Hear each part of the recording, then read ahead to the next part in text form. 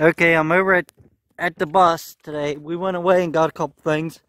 Uh, I'm walking down. I'm not driving because the last time I drove down here, it was still a little damp. Right there's some deer tracks, guys.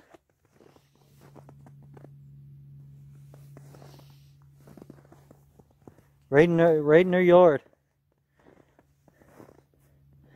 The way you tell that's a deer track, it's a two uh, prongs or whatever sticking out. That's what it looks like to me. But I don't know what a deer would be doing up in there. But anyway, we're going to go down and try to change this wick for the kerosene heater. Well, anyway, like I was saying, uh, the other day when I came down, I thought it was still frozen. It's a little soft, and I don't want to tear the yard up. I'm not one of them people.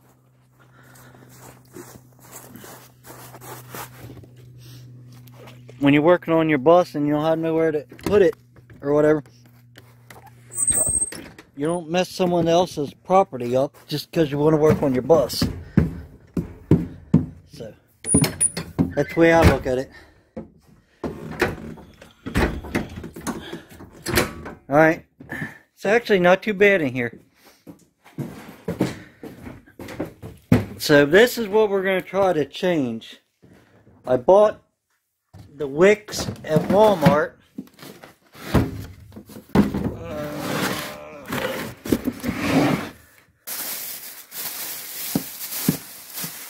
This is the big one, this is the little one. Try to put it in there so we're gonna see if I can figure it out or not. I watched a couple videos of you guys is doing it on YouTube. But just because watching a video don't mean you can do it. So, alright, we're gonna find out. Okay, I got it apart. I took out one screw there, one there, and one in the back, and just pulled on the front. I didn't tear it all apart. A lot of people tearing these all apart. I pulled on the front so it's not bent it so it just passed this stuff and came right out. Now you can see it's still got uh, kerosene in it. Now, a lot of people are taking off this too.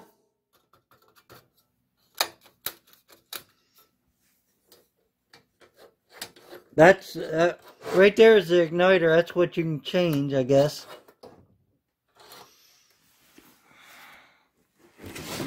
Uh, let's see.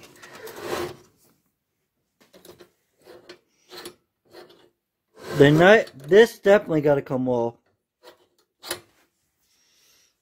Because not, then the wires, uh, I'm going to go ahead and take a, a whole pieces apart. Okay, on my, on mine, had one screw here, and this actually just slid into the igniter. So, you could have just undid the igniter and took the whole thing off, the way it looks. Uh,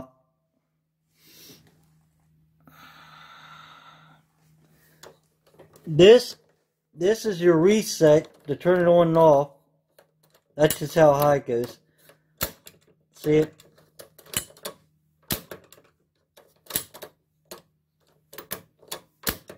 Alright.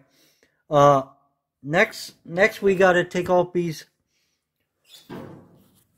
four little screws here and a lot of people were using wrenches or whatever pliers. Let's see yep. So I don't know if I can get it with a screwdriver or not. Nah I'm gonna have to get some type of uh I'll get pliers or whatever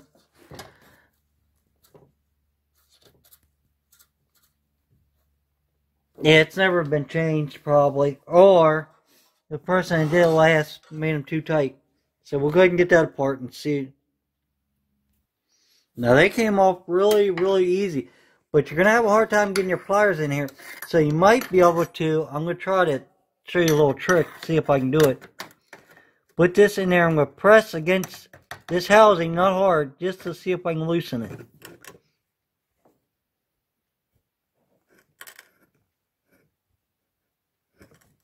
And it's not working.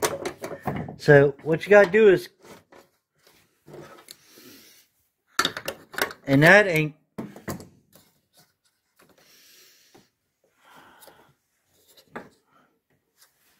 I have another idea. What I'm gonna do, this will work. I'm to take the screwdriver in like this, tap on it and loose it up. So give me one second. And I tried it this way, it didn't work, so I put it this way and tapped on with my palm. Just tapped on it lightly. And, and it got it free. These don't have to be really, really tight the way it looks you guys were saying. Well, no one ever actually said about torque spec. I would say about five foot pounds. Tighten up can tighten with your fingers. That's roughly about five. Unless you're, and this should just pop right up gently. Yep, it it. It's coming right up. Uh, I'm just letting it set a second because I'll get something to put under it.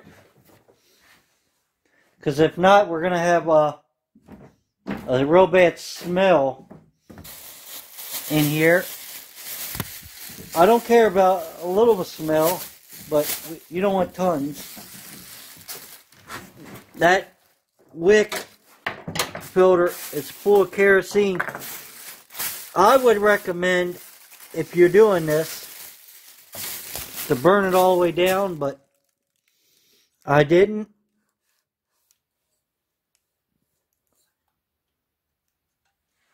I'm going to put it on a plastic bag, and then it just pops off. As you can see, comes out like that, so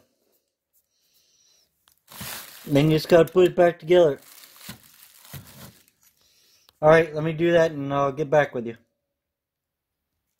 Now this wick looks like it's okay, but it's burnt real bad up there. I don't know. I'm, since I got a new one, I'm going to just change it. I thought it was a bad wick, but it might not have been. Okay, I got it just a hair above. And I think it was I think it was longer. I don't know, but they might have had it in wrong too. Maybe that was a reason.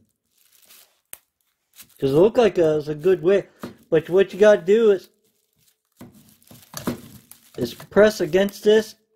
It's got little tabs in there. Just don't press real hard and stick yourself or anything. So. And then it goes in there and that goes on top of that. So that's what we're going to try to do next. Okay, I had it the I had it about on A and it wasn't coming up, so I put it on C. And it's coming up. Make sure it's locked. So, and I cranked this, I turned this so it had pressure on it, then put it into the slot that was in there.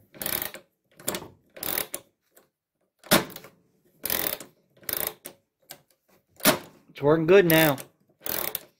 You want to run it I if it was me, I'd run it through the cycles like I just did before you put it back together. You don't want to put it together and then find out it doesn't work. And I would tighten these if I was you. I would recommend to tighten these like a like a car. This this side, don't tighten this side and that side, because you don't want. It, there's probably enough play in there, but it could jam up. So, let me finish putting it together. Another tip, I watched uh, uh, someone last night, and they had this too tight or whatever. You want to make sure at when you're at this spot, I got them all snugged You want to make sure everything's working there, which it is.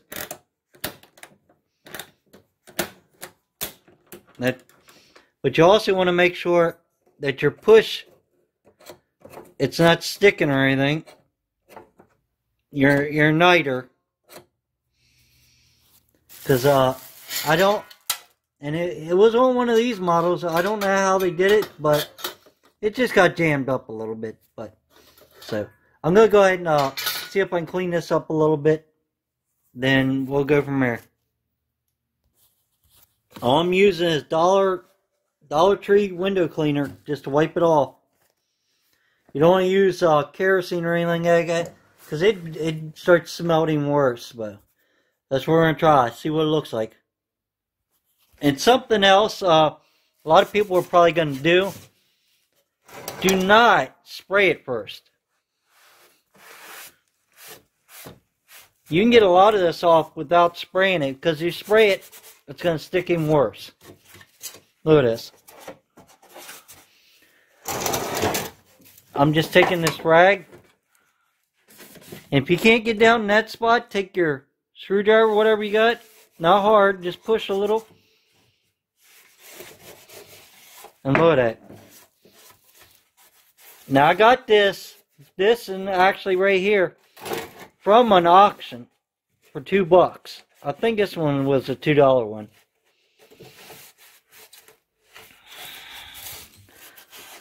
You want to try not to get too much in here. It does have a screen, it looks like, or a filter, might. But if you can, try to keep away from that. And you can see how clean it's coming just by me wiping on it.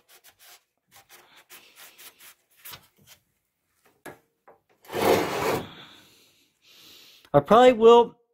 Uh, nah, I ain't gonna do it. I was gonna change it niter. Ain't no sense. I, but look how clean this is. Now I can take the spray. Somewhat. It's not spraying very good. I don't know if I had it on or off. But you gotta figure it. There it is. Dollar Dollar Tree. So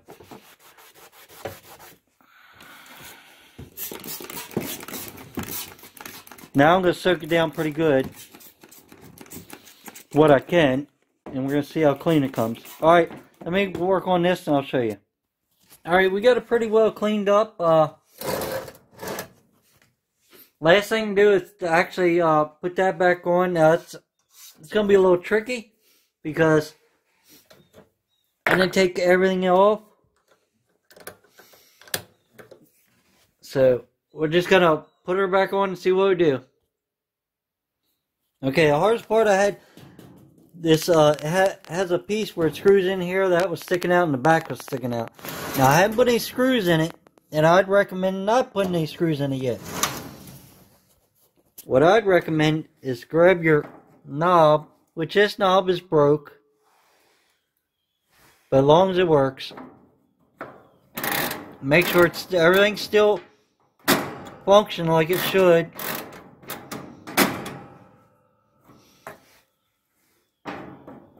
Then go and put your screws in. Now you can, now this is dented here. I don't know how it got dented, but I really don't care, but I can take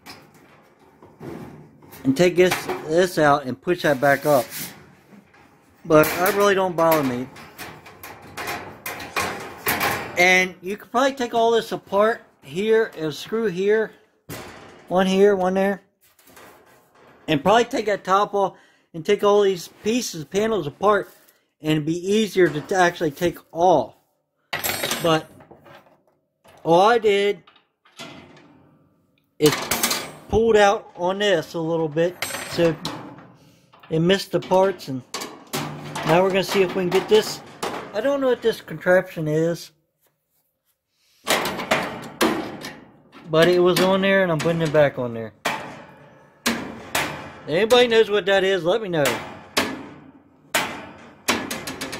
So, now, you notice the the the, uh, the flame catcher or whatever you want to call it. I didn't put that back on. That just comes off. See it? That will actually saw it all around. Now, the test to see if it lifts.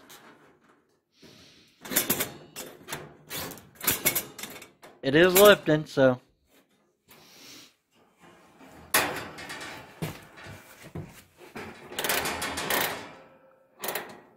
We'll crank this up. And there's kerosene in there. Uh, right there's the canister. I went to the dollar store or Dollar Tree and bought a cheap igniter. Give me one second. Alright, I got the cheap igniter uh, on done here. And all I'm going to do is uh, see if it works. Maybe. Oh, it is a little lighter. Yeah, it's working, so. Let me go ahead and light and see what it does. She's a flaming away.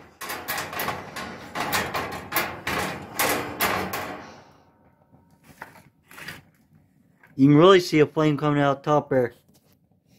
Now, this might have to been set on another one, but that's what I set on. I'm going to see if I got it set right or not. When I hit this, it should put it out.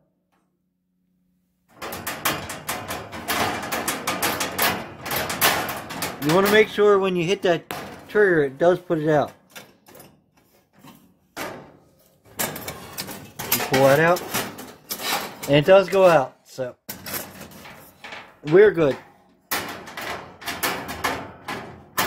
That's one thing you definitely want to check. Make sure that it does go out. I'll go ahead and, uh, I don't have a phone holder. Give me one second, I'll restart it. Alright, we gotta restart it, so everything's working good like it should. Now all we gotta do is throw the old wick away. Grab the, uh, my can canister, and whatever you do, you don't want to ever set this upside down or this way with fuel in it. Unless it's in there. That's got a little valve on it. We just gotta fix that dent. Which that dent might have been there, I don't know. We're up and running, guys.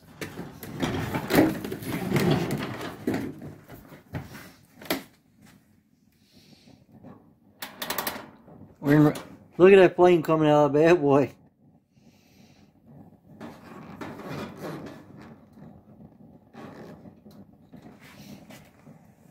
I I know that's too high, guys. This wouldn't show it to you. What you can do is hit this little trigger. Make sure it's locked, because if you're not, I turned it down a good bit, so there it is. We'll let that run, see how good it works. Alright, if you like this uh, video of me changing the wick or trying to, give me a thumbs up. If You didn't, thumbs down, at least watch one. Please subscribe, check out my channel. Check out the bus that we're building, me and some friends. And we're going to try to make this bus go out west. I'm going to work on these today too. I got them totes I'm going to try to uh, go through some of this stuff and put in the totes. But anyway, thanks for watching. And bye till later.